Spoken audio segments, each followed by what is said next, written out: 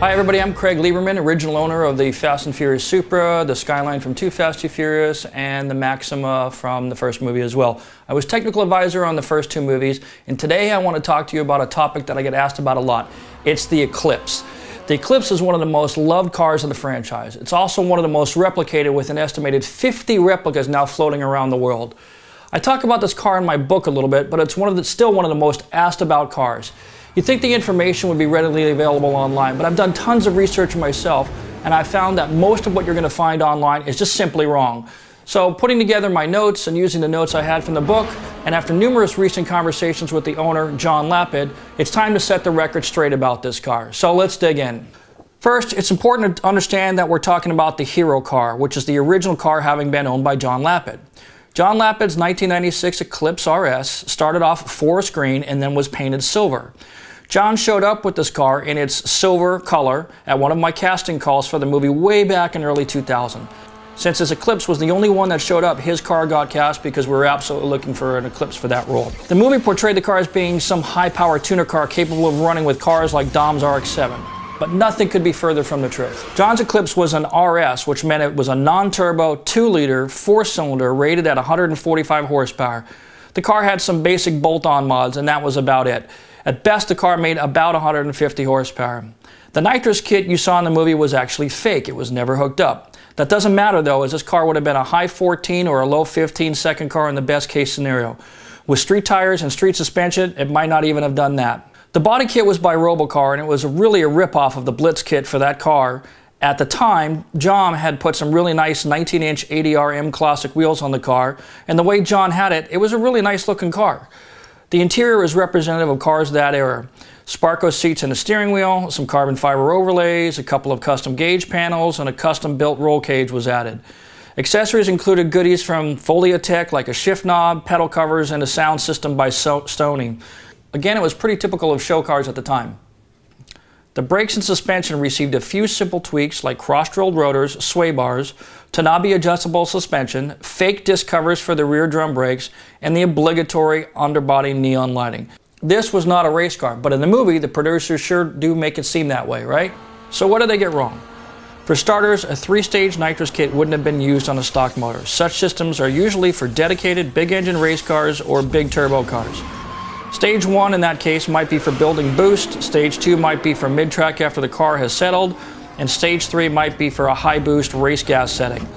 The stages refer to how much nitrous is being delivered at any setting. In a 15 second car, you certainly don't need three stages of nitrous, not on a stock motor. The stock motor would grenade at anything more than say 75 to 100 horsepower anyway, so it's academic.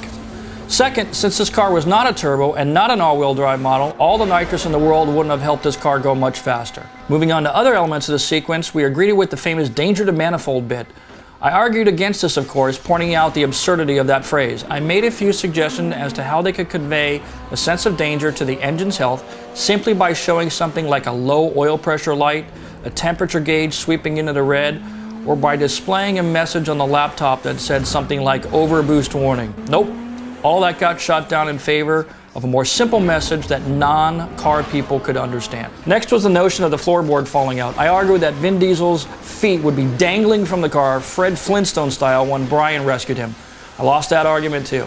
The production team wanted to see fire and sparks in this scene. I presented alternatives that were more realistic, but these two were shot down. As an advisor, I only had so much influence. At the end of the scene, there's talk about fried piston rings, yet the car still managed to limp back to the starting line. A bit improbable, but whatever.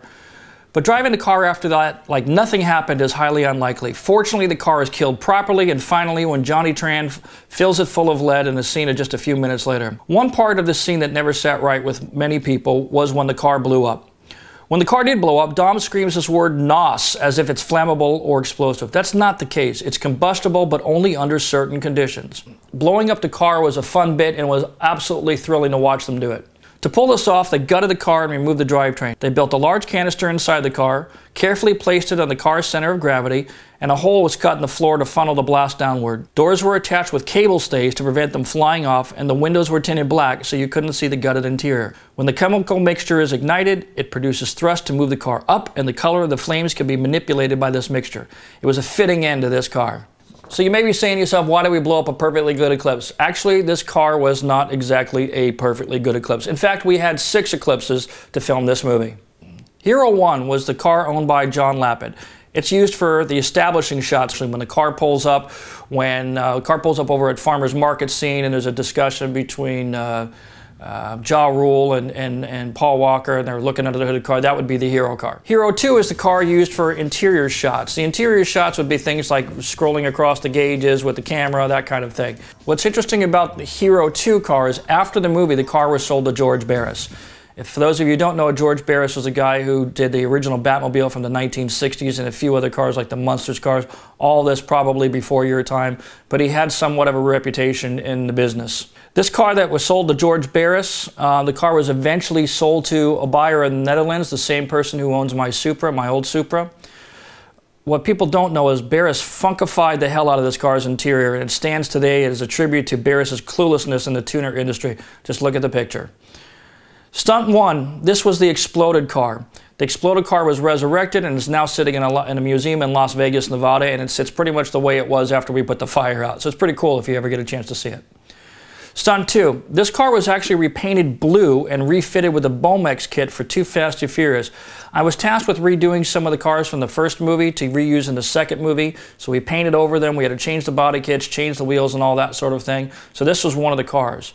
Stunt number 3 was repainted candy red and the same thing, a Bomex body kit, different wheels, different exhaust, and reused in uh, 2 Fast, 2 Furious. That car is now in, a, in Rusty's Museum in Tennessee. The Buck car, the car that we would have used for mounting on a gimbal to do action shots, uh, the whereabouts of that car are unknown. The McRig car, the car that was cut up and used for the sequence where uh, Brian is running from the cops with Dom in his front seat. Uh, the whereabouts of that buck are unknown. Presumably, Dennis McCarthy still has the car. So let's also talk about one of the topics that uh, people approach me about every week. I get probably 10 emails a day about this. People want to talk about building replicas. Hey, Craig, can you help me out to build a replica? Can you give me a parts list and all that other kind of stuff? So let's talk about building replicas for just a second. While it's a great idea, there's something you need to consider. Many of the companies who made these parts are long, long since out of business, or the parts have long been since discontinued. Essentially, this means that your only option is to buy the parts that exist for these cars and are already out there in the marketplace. But nearly all of them are being used on existing replicas. Builders of these existing replicas have spent thousands of hours researching the right part numbers and scouring the internet globally for available parts. Don't expect anyone to give you the full list of parts and part numbers. It's not going to happen. Why? Because many of these people are still trying to find some of these parts for themselves. It's also worth noting that this car wouldn't be cheap to build. Figure 6000 for the car, then you add headlights, body kit, wheels, which are impossible to find, tires, the old st stereo components from 1999, which you can only find them used, they're discontinued, seats that are discontinued, doing a proper paint job and molding the body kit on the car, the interior fabrication work, making a custom roll cage, which is not an easy task, um, a proper suspension kit to mimic what was in the movie, suspension, which was Tanabe stuff, so that stuff's not cheap. I don't even know if they make it for that car anymore carbon hood, harnesses, and all the other little bits, you're going to looking at probably 35,000 minimum, and that's only if you can find all the parts. Now, speaking candidly, I've seen many of these replicas personally. Most are cosmetically similar, but really aren't accurate. That's not a bad thing. It's just a reminder that you'll have to truly figure out how far you want to go and how far you can afford to go before you undertake such a project. In the end, the Eclipse is and was special to many people because it was representative of the tuner scene at the time. It wasn't the fastest or most exotic tuner car at the time, but it was good looking and it was attainable. That's why it'll always be a fan favorite. Thanks for tuning in, everybody. I hope that information helps you and keep watching. See you next time come my lady, come, come my lady, you're my butterfly, sugar, baby. Come my lady, come, come my lady, you're my butterfly, sugar.